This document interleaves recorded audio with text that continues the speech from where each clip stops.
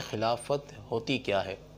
तो देखें, एक सिलसिला जो चलाते हैं ना, जैसे कादरी सिलसिला है, चिश्ती सिलसिला है, नक्शबंदिया सिलसिला है तो इस सिलसिले को फैलाने के लिए, मिसाल के तौर पर अब मैं हूँ, अब मैं एक पीर बनता हूँ तो पीर कैसे बनूँगा कि मुझे इजाज़त होगी?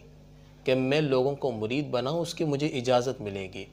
अब जो बंदा मुरीद बनता है ना तो वो मुरीद शेख अब्दुल कादिर जिलानी का बनता है तो यह से ख्वाजा गरीब नवाज़ का बनता है। तो इसके लिए एक बामल कामिल सैदीदा पीर मुर्शिद वो इजाज़त देता है कि आप मुरीद बनाएँ।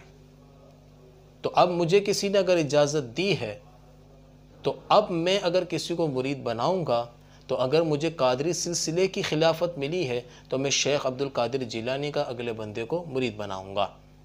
तो ये होती है खिलाफत।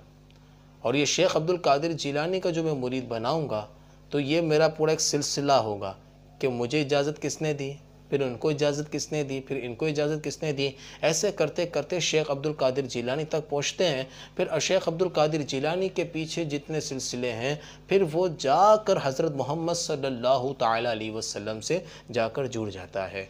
तो ये होता है ये खिलाफत का मामला।